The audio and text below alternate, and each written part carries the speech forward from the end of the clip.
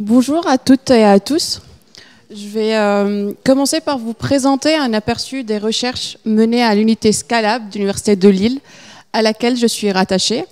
Le titre de ma présentation est Apprentissage du vocabulaire chez les enfants d'âge maternel, mécanismes en jeu et efficacité des méthodes d'intervention en classe. Dans la partie introduction, je vais vous parler des enjeux du vocabulaire dans l'apprentissage de la lecture, ainsi que du rôle du niveau socio-économique dans l'apprentissage des mots chez les jeunes enfants. Ensuite, nous explorons les mécanismes en jeu dans l'apprentissage lexical en maternelle. Cette partie nous permettra de comprendre comment les jeunes enfants apprennent des nouveaux mots. Dans la troisième partie, euh, désolé. Dans la troisième partie, je vais euh, vous présenter des interventions ciblant le vocabulaire chez les enfants d'âge maternel pour pouvoir en tirer des conclusions pratiques euh, pour, mieux accompagner les enfants en classe. Enfin, je vais conclure avec mon projet de thèse. Le vocabulaire est, un, est une compétence essentielle qui commence à se développer à l'enfance et qui continue à se développer pendant l'adolescence jusqu'à l'âge adulte grâce aux échanges sociaux et aux apprentissages. Le vocabulaire est un prédicteur direct au développement du langage oral, comme la syntaxe et le discours. C'est aussi un prédicteur essentiel pour le langage écrit, notamment la compréhension écrite. En effet, un enfant a besoin d'avoir un nombre suffisant de mots pour pouvoir comprendre un texte. À mesure que les pratiques de lecture se développent, les compétences de compréhension écrite participent aussi à enrichir le vocabulaire des jeunes enfants. On parle donc d'une d'une relation bidirectionnelle entre le vocabulaire et la compréhension écrite. Ensemble, ces compétences ont un impact crucial sur la réussite scolaire et l'insertion sociale des enfants à court et à long terme. Dans cette présentation, nous allons nous concentrer sur le développement du, vocabulaire chez les jeunes enfants d'âge maternel. Junior, mon, collègue, va aborder les études sur le vocabulaire en primaire, ainsi que leur rôle direct avec la compréhension écrite. Le niveau, socio le niveau socio-économique a un impact sur la taille du vocabulaire chez les enfants d'âge maternel. La littérature montre que les enfants issus de milieux socio-économiques défavorisés sont exposés à quatre fois moins de mots que les enfants issus de milieux favorisés. Qu'ils ont 15 000 mots au moins et qu'ils ont une vitesse d'acquisition de mots qui est plus lente, ce qui crée un désavantage cumulatif au cours du temps. En conséquence, ces enfants sont vulnérables et sont à risque de difficultés de lecture. Comme les, apprentissages apparaissent très tôt, dès 18 mois, et peuvent potentiellement persister, il est important d'intervenir de manière préventive en ciblant le vocabulaire. Le but ici, c'est non seulement d'enrichir le vocabulaire, mais aussi d'accélérer la vitesse d'apprentissage. Mais pour pouvoir mettre en place une intervention qui, vise à enrichir le vocabulaire des enfants, il est important de comprendre comment ces enfants apprennent les nouveaux mots. Autrement dit, quels sont les mécanismes en jeu dans l'apprentissage des mots en maternelle? Une étude factorielle menée par Gray et Hall a montré qu'il y a deux dimensions sous-jacentes à l'apprentissage des mots. La phonologie, qui est la capacité de percevoir, mémoriser et traiter le son d'un mot, et la sémantique, qui est la capacité de comprendre, associer le sens des mots.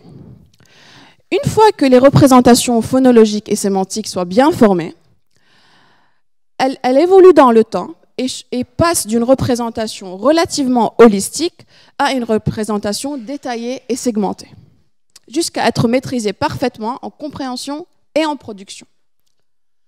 Un autre modèle qui, euh, met en évidence euh, ou qui, explore la manière avec laquelle les mots sont intégrés en mémoire est le, est le mapping theory de Chiat. Selon ce modèle, il y a deux étapes de mémorisation dans l'apprentissage des mots, impliquant le traitement phonologique et sémantique, ainsi que la capacité de lier ces deux aspects. La première étape est le fast mapping, où l'enfant il entend un mot pour la première fois, il mémorise la forme phonologique et lui attribue un premier sens. À ce stade, les mots appris dépendent du contexte dans lequel ils sont apparus pour la première fois. Ils sont stockés dans l'hippocampe sous forme de souvenirs épisodiques. Les enfants, même si à ce stade les enfants sont familiers avec la forme phonologique, et le, sens il reste fragile, c'est-à-dire que l'enfant il va, pouvoir reconnaître avoir appris ce mot ou entendu ce mot, mais il ne va pas pouvoir se souvenir du sens et ne l'utilise pas. La deuxième étape, c'est euh, le slow mapping qui s'étend sur une plus longue période de temps.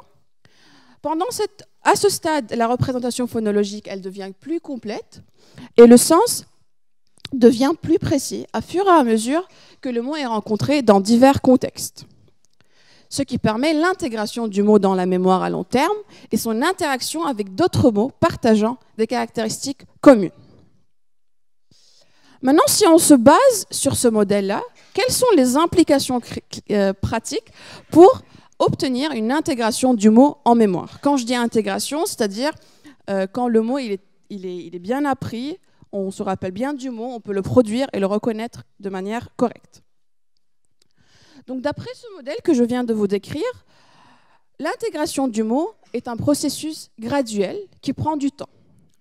La, littérature montre que bien que l'information phonologique, elle peut être intégrée au bout d'un jour, l'information sémantique, elle va prendre plus de temps, jusqu'à une semaine, pour être pleinement intégrée. Donc, quoi faire? Il est important de diversifier le contexte sémantique dans lequel le mot apparaît, mais aussi d'augmenter et d'accroître le nombre d'expositions, sachant que 36 expositions au moins sont nécessaires pour obtenir un apprentissage optimal du mot. Et ici, il est préférable que ces expositions-là soient espacées dans le temps et non pas concentrées sur une, courte période de temps. Ensuite, ce modèle suppose que la représentation phonologique doit être solide dès le départ. Sinon, cela risque d'impacter négativement l'intégration du mot en mémoire. Donc, concrètement, ce qui est très bien, ce qu'il faut faire ici, c'est que dès les premières expositions, attirer l'attention de l'enfant à la forme phonologique, c'est-à-dire le nombre de syllabes, euh, les rimes, euh, la, position d'une syllabe cible, etc. Enfin, on sait aussi que le sommeil est très important pour l'intégration du mot.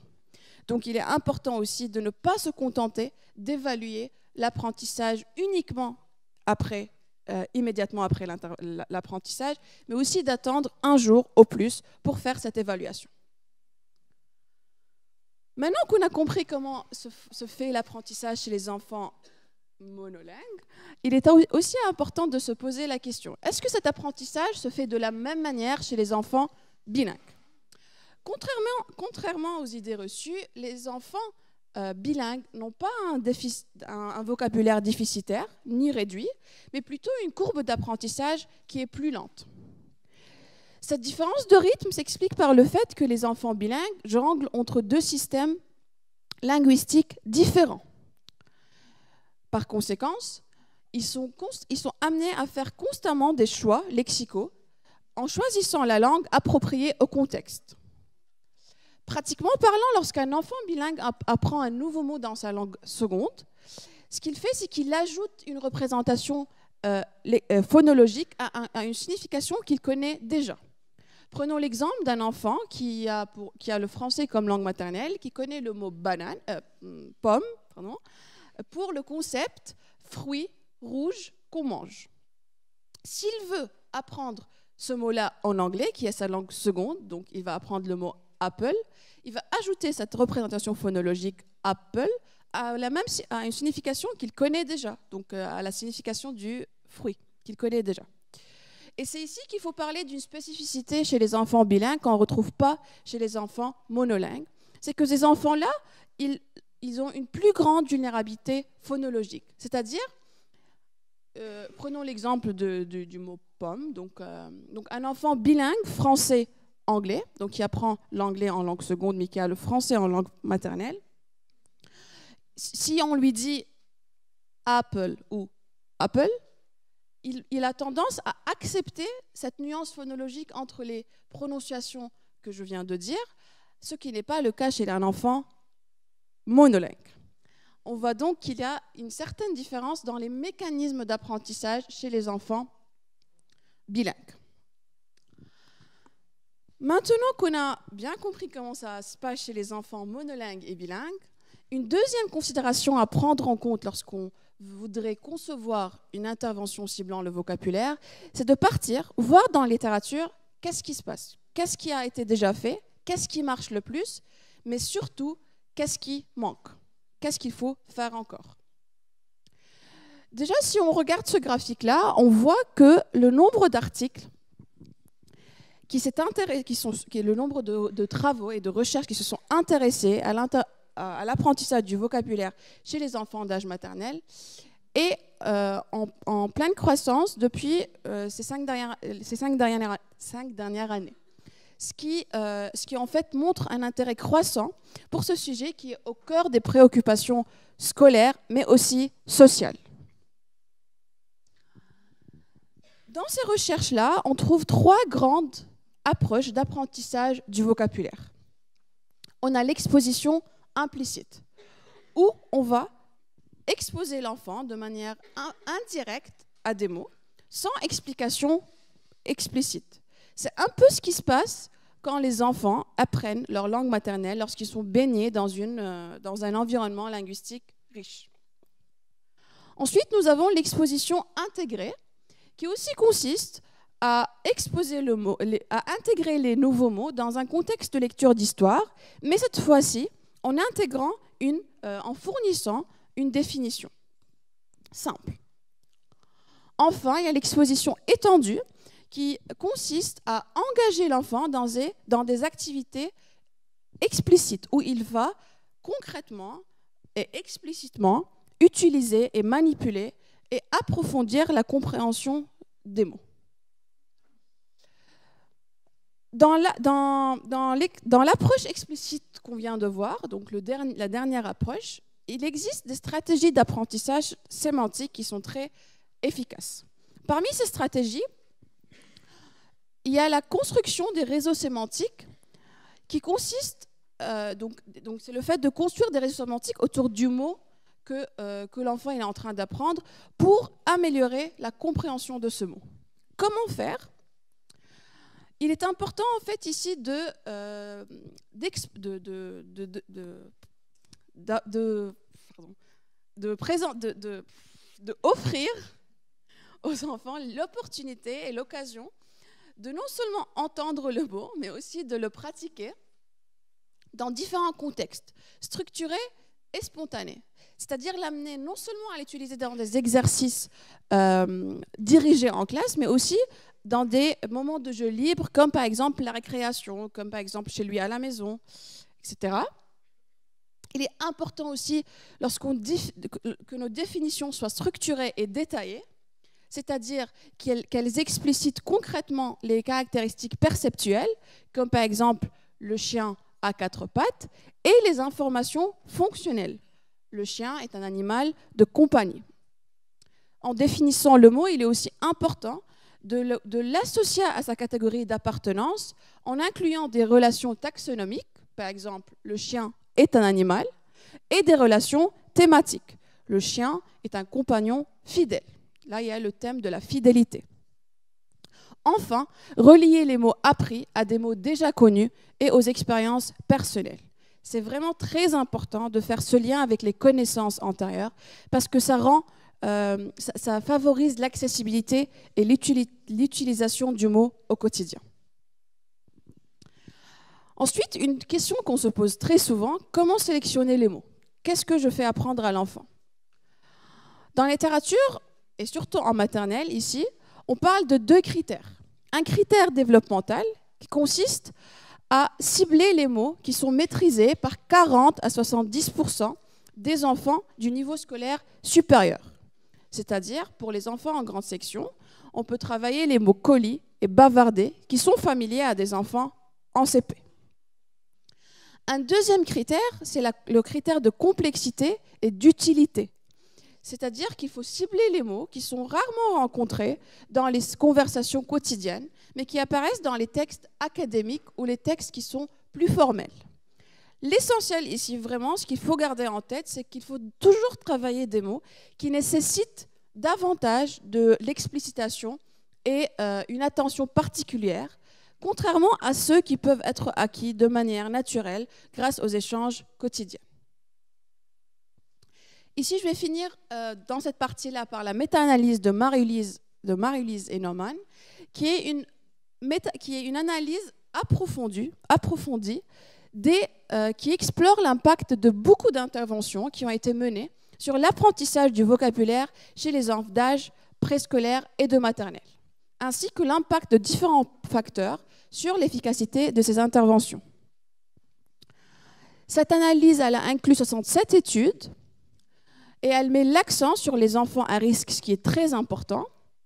C'est-à-dire qu'elle inclut non seulement des enfants qui sont euh, donc elle, inclut dans les critères de sélection des enfants qui ont des, facteurs de risque, comme le niveau socio-économique, euh, comme par exemple aussi une faible performance académique, etc. Et elle a cherché à inclure plusieurs types d'interventions, notamment celles euh, qui comprennent la lecture interactive ou partagée. Quels sont les principaux résultats concernant l'efficacité des interventions?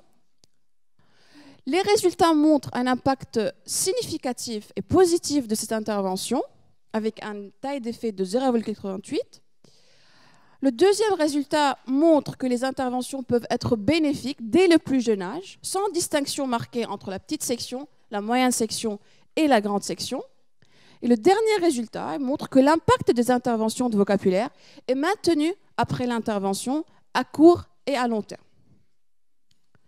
Concernant le type et les caractéristiques des méthodes favorisant l'apprentissage de mots, les résultats montrent que ce sont surtout les méthodes combinées qui, euh, incluent des définitions, euh, plutôt qui, c'est la combinaison des méthodes implicites et explicites qui sont les plus efficaces en raison de leur nature interactive. Après, en ce qui concerne l'impact des modérateurs sur l'efficacité des interventions, ce qu'il faut retenir, c'est que le profil de l'intervenant et la taille du groupe n'a pas d'effet sur l'efficacité des interventions. Et ici, ce qui est très important, c'est le les, résultats concernant le dosage de l'intervention. Ce sont euh, les interventions de courte durée, avec plus ou moins de 20 minutes, et qui sont réalisées à raison de moins 5 fois par semaine, qui sont les plus, bénéfiques, surtout lorsque les objectifs sont bien ciblés. Enfin, le dernier résultat concernant les caractéristiques des participants montre que tous les enfants ont pu progresser grâce à ces interventions, mais que cela n'a pas suffi pour réduire les écarts de départ. En effet, le niveau socio-économique est identifié comme le facteur de risque le plus significatif. En résumé, donc ce qu'on peut tirer grâce à toute cette étude-là, à toutes ces études-là, c'est de, en classe, favoriser, favoriser l'enseignement explicite, adapter la durée des sessions en prévoyant des interventions ciblées et d'accorder une attention particulière aux enfants issus de milieux socio-économiques défavorisés. Parce qu'on a vu qu'avec ces enfants-là, l'implicite ne suffit pas. Si on revient à notre modèle du départ, on remarque que la, majorité des interventions, elle met l'accent sur le travail sémantique comme étant un travail efficace pour le développement du vocabulaire, alors qu'on retrouve très peu de données sur le travail phonologique. Nous avons pu identifier une seule étude qui, qui s'est intéressée au travail de l'aspect phonologique pour développer le vocabulaire chez les enfants d'âge maternel. Cette étude a été menée auprès de 86 enfants en maternelle. Elle a cherché à comparer deux types d'apprentissage de vocabulaire, soit avec de la phonologie, soit avec de la sémantique. En ce qui concerne les résultats, bien que tous les enfants, en fait les enfants des deux groupes ont progressé de la même manière sur les épreuves réceptives, sur les épreuves réceptives, un résultat qui est très important ici et qui nous intéresse, c'est que le groupe qui a appris avec de la phonologie était le groupe qui a pu progresser sur les connaissances sémantiques sur les cibles, alors que ce n'était en fait, les deux groupes ont progressé, mais c'est le groupe qui a appris avec de la phonologie qui a progressé le plus. Sachant que ici, lorsqu'on a évalué les connaissances sémantiques, c'était à partir des définitions de mots. Donc c'était une mesure qui, montre vraiment une intégration sémantique profonde du mot. Comment on interprète ce résultat? Les auteurs supposent que lorsque euh, on fournit des informations phonologiques, cela va permettre de, euh, détailler et de préciser la représentation phonologique. Mais aussi, ça va permettre à l'enfant de rappeler de manière constante l'information sémantique, qui est traitée de manière implicite. Donc on a ce double traitement des deux représentations qui se fait de manière constante, ce qui favorise la rétention du mot et sa compréhension. Donc si on a des preuves que l'aspect, que travailler l'aspect phonologique est efficace pour le vocabulaire. Mais malgré cela, on a toujours peu de preuves sur l'établissement progressif des mots appris dans la mémoire à long terme. Plusieurs questions restent sans réponse. Quelle serait l'unique contribution de chaque information à elle seule? C'est-à-dire, que se passe-t-il si un enfant reçoit uniquement de la phonologie sans de la sémantique Ou inversement Quelle est l'intensité ou la quantité d'informations que l'enfant doit recevoir? Et dans quel ordre? D'où mon projet de thèse. Mon projet de thèse est intitulé Développement du vocabulaire en maternelle, REP, REP, étude des mécanismes d'intégration lexicale pour une application numérique. Ce projet est sous la direction de Séverine Casalis et est en collaboration avec l'entreprise Corneille. Corneille est une application numérique d'apprentissage de la lecture qui propose des activités de lecture personnalisées et une bibliothèque numérique de plus de 100 titres à des enfants âgés entre 3 à 8 ans. Étant persuadé de l'importance du vocabulaire en lecture, sur la lecture chez les jeunes enfants, Corneille a pour objectif actuel de développer une rubrique du vocabulaire pour enrichir son application de lecture.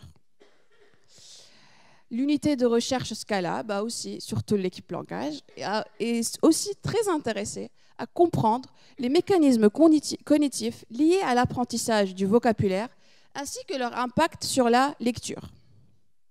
On voit donc la pertinence de, cette collaboration qui cherche à répondre à ce double objectif.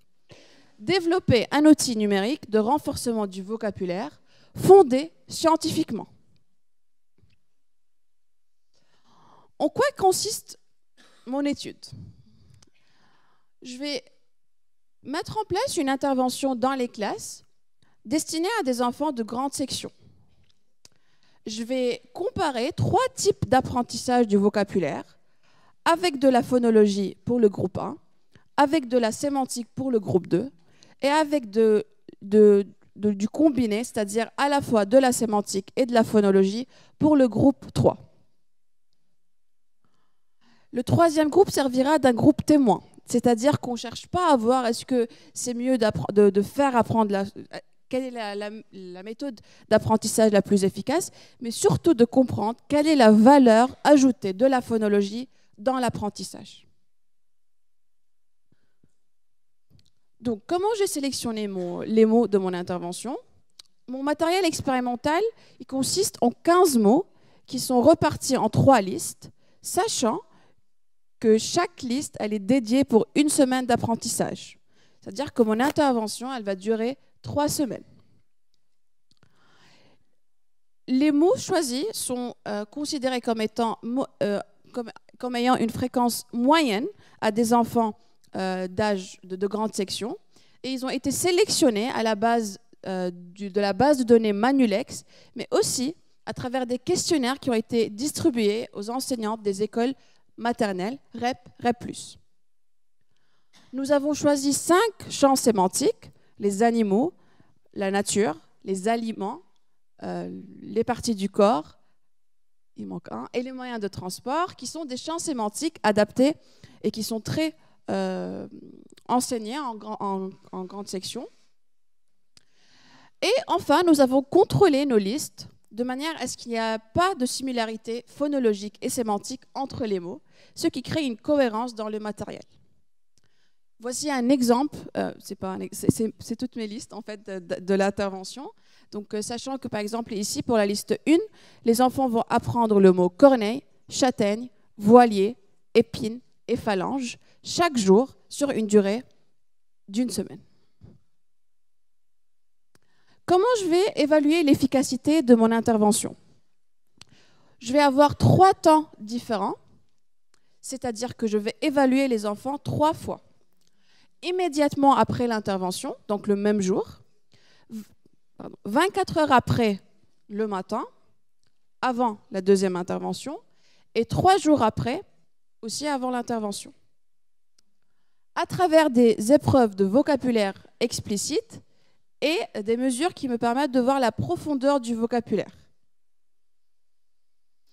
À partir de, ces mesures-là, je vais pouvoir comprendre à partir de quel moment de l'évaluation et de l'apprentissage va-t-on obtenir une consolidation du mot en mémoire? Et pour quel type d'information en premier? Est-ce que la consolidation sera, sera plus précoce lorsque l'enfant apprendra de la phonologie en premier ou lorsqu'il va apprendre de la sémantique après? Et pour quel test? Est-ce que les résultats vont être différents en fonction de la mesure évaluée? Et pour quel enfant surtout? C'est-à-dire, est-ce que le niveau de base initial de l'enfant va déterminer quel type d'apprentissage va être plus efficace pour lui ou pas? Actuellement, je suis dans, la phase d'expérimentation. Je suis dans les écoles et on est en train de faire les interventions. Ensuite, nous souhaitons tout cela pour pouvoir ensuite implémenter des exercices qui sont fondés scientifiquement sur les mécanismes d'apprentissage lexical en classe avec l'application Corneille, en souhaitant pouvoir étoffer les données de la littérature sur les paramètres décisifs ciblant le vocabulaire. Merci de votre attention.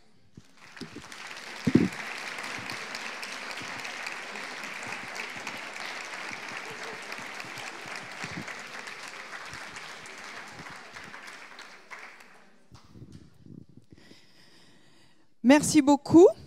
Merci beaucoup.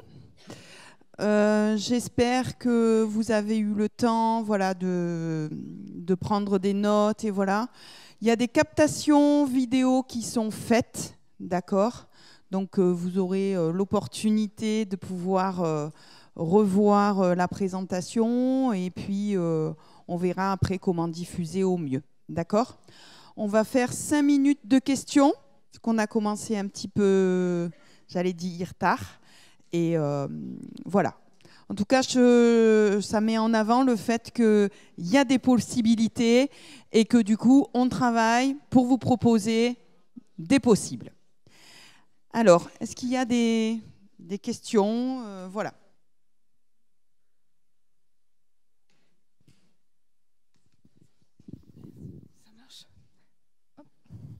Bonjour, on m'entend? Ok. Bonjour, euh, merci beaucoup pour ta présentation, c'était très intéressant.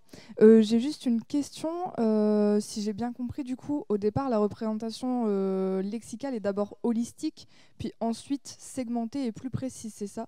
Mais du coup, qu'est-ce que vous entendez par là? Parce que du coup, ça me semble être euh, un peu contre-intuitif que ce soit d'abord très global puis ensuite segmenté, avant que ce soit d'abord segmenté puis ensuite plus intégral, intégralisé.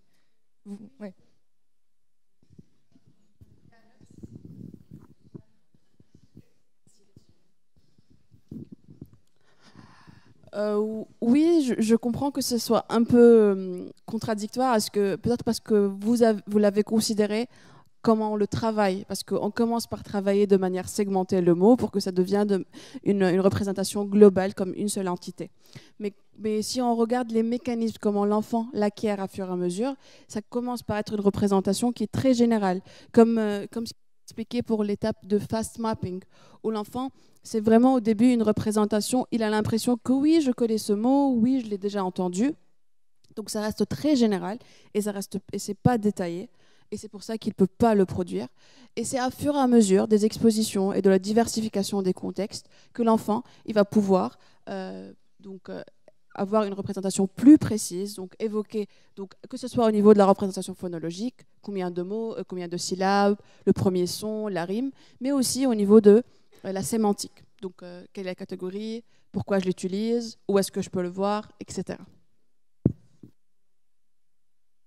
Si. On a le temps encore pour une question.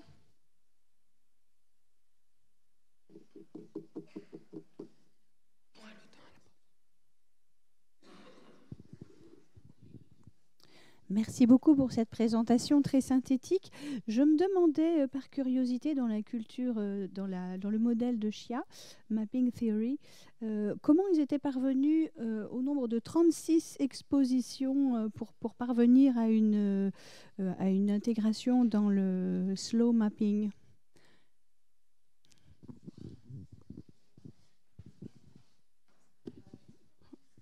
C'est bon? Ok. En fait, là, l'information qui a été ajoutée sur le, sur le graphique, c'est une étude qui a été réalisée pas, par, euh, pas, en, allant du modèle de Chiat. C'est plutôt, en fait, euh, la donnée de Chiat, c'était au niveau de la théorie. Donc, on est parti à partir de ce modèle-là. Mais l'information de 36 expositions, c'était une étude qui a été réalisée en 2015. C'est l'étude de Storkel 2015.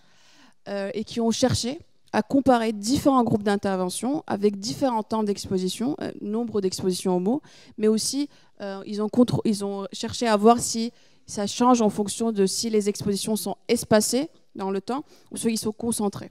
Donc c'est une donnée de la littérature euh, qui c'est la, la, donnée qui est la plus, si vous voulez, concrète sur le nombre d'expositions qui vous a été ajoutée sur le diapo.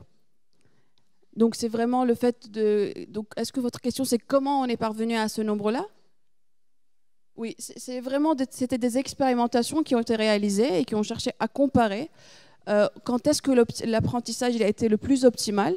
Est-ce que c'est en fonction du nombre, ils ont varié le nombre d'expositions, ils ont contrôlé, pardon, ils ont comparé cela pour avoir à la fin un nombre le, groupe qui a bénéficié le plus, ils ont considéré qu'à ce moment, c'est à partir de ce nombre d'expositions que euh, l'apprentissage est optimal. Merci beaucoup, Saba.